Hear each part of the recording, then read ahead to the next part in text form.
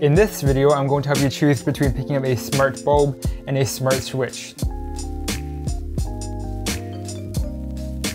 First of all, we're going to talk about the more popular option, the smart bulbs. These things are really easy to install, requiring no expertise. I mean, how many humans does it take to install a light bulb? They're versatile. This one is an E27 bulb, but they're also available in smaller sizes. And they're also very customizable. Now this one is controlled by an app, which allows it to be dimmed, but this particular one right here can also be adjusted in terms of RGB levels, meaning you can create any color you want. Con, this one costs 50 bucks to pop, and the rest aren't a lot cheaper. You have to consider the fact that a single fixture might have more than one socket. Those prices rack up really quickly. Okay, now onto the smart switch. Pros, it's cost effective and a single switch can control multiple fixtures depending on your wiring.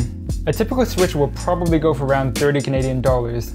It can also control various appliances. Like here, I have mine controlling my bathroom ceiling fan. I don't actually have it hooked up to a light bulb or a light fixture. The biggest con has to be it's rather difficult to install. This one requires a ground and a neutral wire, so it should probably only be handled by an expert. Also, RGB and dimming often aren't even options for this one. These products usually work with all the smart home assistances available right now. Google, turn off the bathroom vent.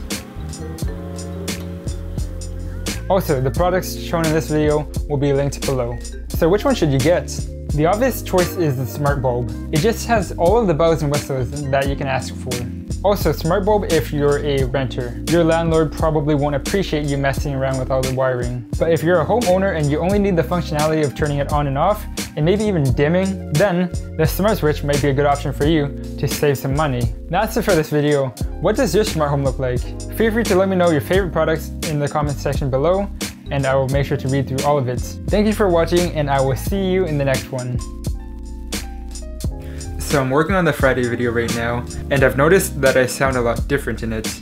I've been trying to fix my lateral lisp, and I, I think I kind of made it worse by using whatever technique I'm using right now, but it's getting better and I think that if I follow through with this, then it will be, I will be a lot more clearer when I'm talking in my videos.